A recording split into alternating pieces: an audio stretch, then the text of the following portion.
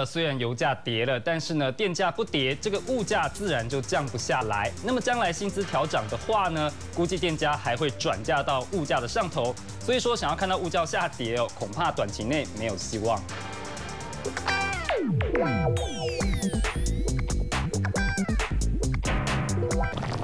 牛肉算一算，完美七分熟，冬天吃锅最过瘾。连锁火锅店十月起正式涨价，双人套餐最多涨两百元。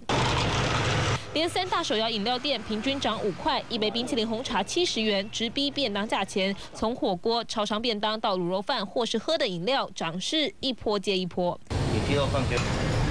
观察半年来 CPI 指数，从四月年增率百分之一点六六到八月年增率破两趴，只是现在国际油价跌到四年来新低，但奇怪了，和油价联动的物价怎么还高高在上？所以电价涨了之后呢，就继续维持在高档。好，所以不要轻易相信政府说啊，这个市场自由机制，价格涨了后来还在回去的，其实都没有。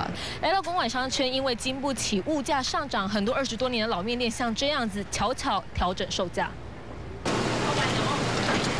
捞面起锅，一大碗的面过去五十元搞定，现在看看墙上贴了一层新标价，几次的油电双涨 hold 不住了，涨了五到十元。这样八年下来哈，那一下涨了一倍。瓦斯涨，猪油也涨，一斤二十元涨到一斤六十元，成本降不下来，变成小吃摊上涨苦衷。对他们就是涨价就会涨，然后降价就不会，也是不会降。所以我们物价就越来越高，怎么可能在降？完全不抱希望啊！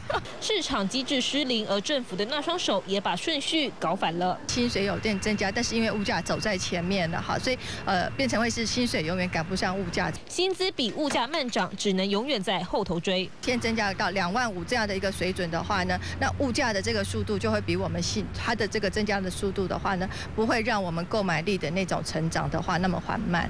就算油电只涨，接下来还有。薪资涨，员工调薪，企业成本增加。如果政府不能准确平抑物价，永远对下一波涨势对小老百姓开刀。东森财经新闻陈文堂、陈文杰台北报道。